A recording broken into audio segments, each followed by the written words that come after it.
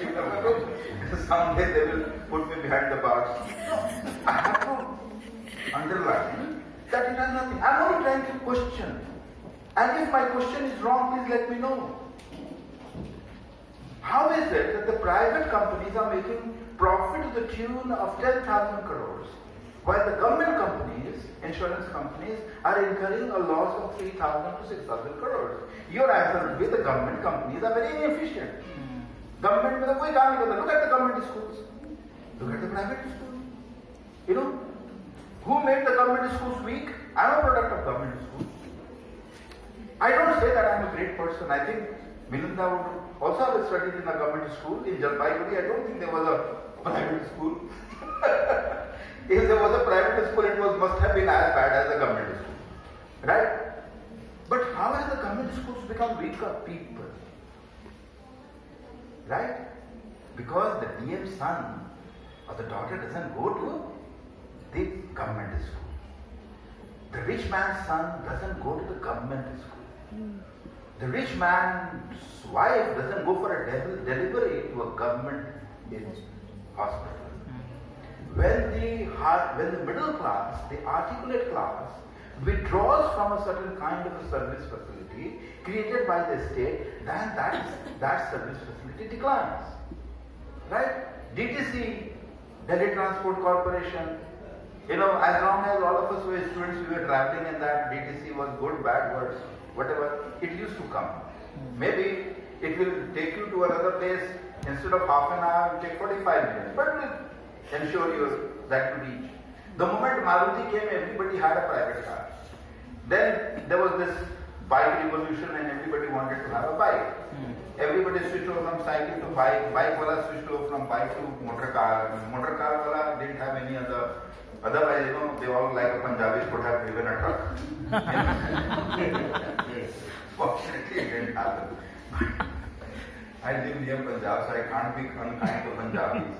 And most of my Punjabi friends are very nice people. You know, they give me nice food and all that. So, so anyway.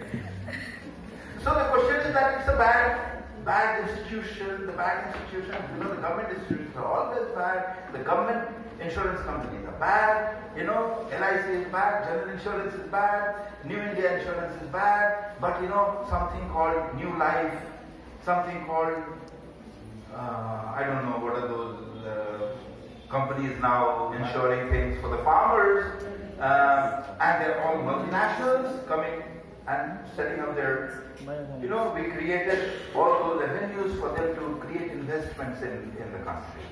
They make profits. We idiots make losses.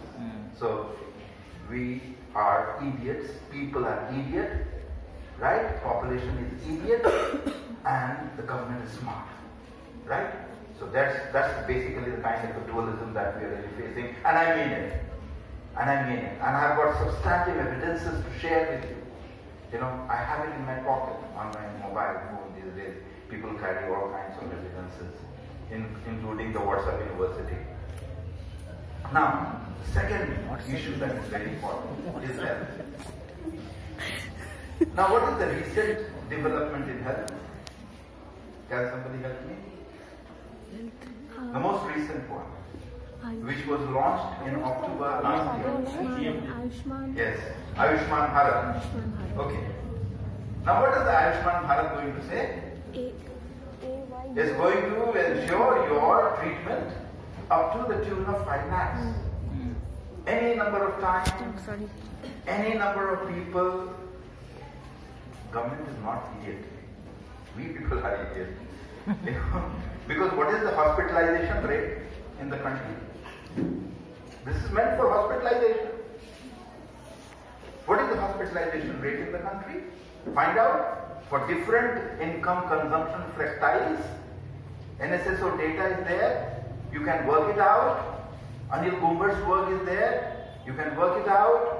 Amartya Sen and Anil Kumbar, they have both worked for Human Development Report and they have a policy paper on this particular issue. Check it out.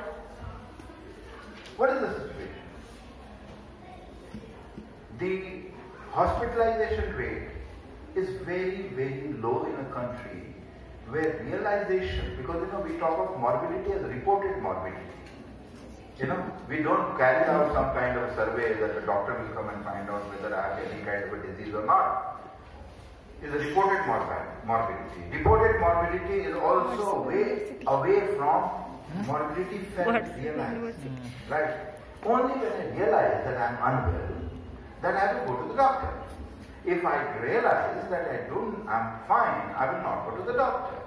Now, but there is a lot of gap between going to the doctor and seeing treatment. Most of the time, I don't go to the doctor, I go to the next chemist, say, यार sir दर्द हो रहा है. वो sir दर्द की जगह पे वो मेरे पेट का दर्द का दवा देता है क्या? है ना? वो डायसेंट्री बंद करने की जगह पे डायसेंट्री इंकरेज करने वाला दवा देता हम क्या कर सकते हैं? ये होता है होता है। मेरे साथ हो चुका है। इसलिए मैं कह रहा हूँ मैं आप भी सुना रहा हूँ आपको अपनी एक्सपीरियंस से सुना रहा हूँ It is can happen. नीम हकीम खतरे जान कहते हैं ना if there's a if there's a odd person you know who can and there are a lot of neem hakims around us. Now the situation is that if the hospitalization rate is less and the person can go and seek treatment in government sector, the evidences from West Bengal, one of my student, Ranjan uh, uh, Karmakar, is working on this particular issue and what we have found is a very interesting picture. RBSY was there. RSBY, Rashtriya Swasthya Bima Yojana. You had a local variant uh, in Bengal. So we really took all the data that was available from uh, Mamtaji's archives, uh, which is the government archives, and also from places that we could really get some data at the district level. And also we created, we mapped all the private and government facilities. now, the interesting thing to share with you is that out of 100 treatments carried out within RPSY and its variants during the last one year, that is not the PM Ayushman Bharat, the previous time, when the upper limit was 30,000, you know, uh, whatsoever, we found that almost 38% of treatments took place in public hospitals, while 84% of payments incurred to Private. private hospitals. Ah. Right? This is the data. I have not created this data. So what am I really talking about? I am talking about the fact that the state, through the taxpayers' money, encourages private venture, not bad, but you know it creates conditions for profit making for the private ventures, for the private nursing homes, as against encouraging the public sector. So the public sector is left high and dry. You know, for this payment, it is not entitlement. Say for example, when I when I go and submit my bills to my office, they give me a receipt. Okay, this medicine is not allowed. This is not allowed. This is not. I have incurred hundred rupees. Seventy rupees is already not allowed. Only thirty rupees is allowed. So I say keep that thirty rupees also. I'm happy without your money. You know. So this is what happens in the government sector. Whatever bill that is submitted by the public sector, they say this medicine has already been given to you under Rogi Swasthya Yojana, against this Yojana, against that Yojana. So why do you need money for that? So they, there is no way to compensate the public sector. Rather allow public sector to in fact survive and go on treating the patients at that level. But when it comes to the private sector, 100% reimbursement takes place.